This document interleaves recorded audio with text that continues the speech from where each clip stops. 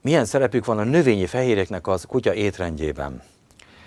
A növények emésztése a kutya szempontjából, a kutya számára egy nehéz feladat.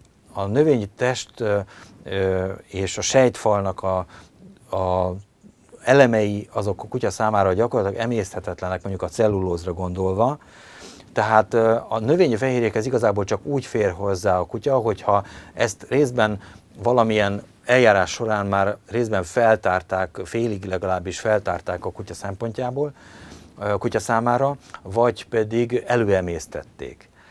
A, a kutya ragadozó életmódjából az következik, hogy a táplálékát, a, a, azt az állatot, amelyet elfogyaszt, azt szöröstül, bőröstül falja föl, ahogy szokták mondani, és ebbe az is beletartozik, hogy a, a bélrendszerét is elfogyasztja, és ebben a bélrendszerben megtalálhatók azok a fehérjék, azok a, azok a növény eredetű fehérjék, amelyek azért a, a szükségesek és, és hasznosulnak a kutya étrendjében is. Nagyjából azt kell mondani, hogy az állati eredetű fehérje forrás 60-80 százalékot kell kitegyen a kutya étrendjében, és ebből következően a növény eredetű fehérje forrás az ilyen 20 és 40 százalék közötti lehet, abban az esetben, hogyha ez már előemésztett, föl, félig föltárt és felszívódásra alkalmas formában áll rendelkezésre. A növények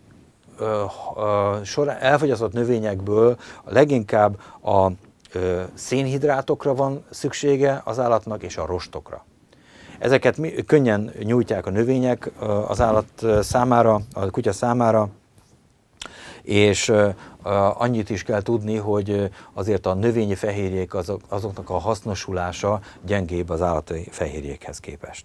A szénhidrát forrásként való hasznosulásban nagy különbség van növény és növény között.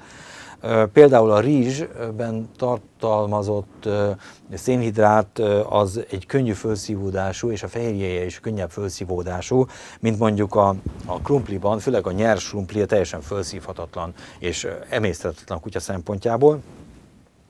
A krumpli már főzve, részben föltárva már az emésztést segíti, illetve az, a lassú, bár ez egy lassú szénhidrát forrás a számára, tehát lassan emészti meg. Ilyen szempontból egyébként diétáknál szoktuk alkalmazni, ahol nyugtatni kell a gyomorbélcsatornát, és nem olyan, olyan szénhidrát forrásra van szükségünk, ami nagyon gyorsan, hirtelen felszívódik egy adott szakaszán a bélnek, hanem nagyon hosszú bélszakaszt vesz igénybe a felszívódása, elteríti tulajdonképpen a felszívódást, tehát ilyen szempontból akár ezt használni is lehet ezt a tulajdonságát a, a főtt krumplinak, de ennek a föltárt formája, vagy főzött formája az, a, az ami hasznosulhat a kutya szempontjából. A, vannak, kivételesek, vannak kivételek is a, a növényi táplálás ö, ö, tekintve.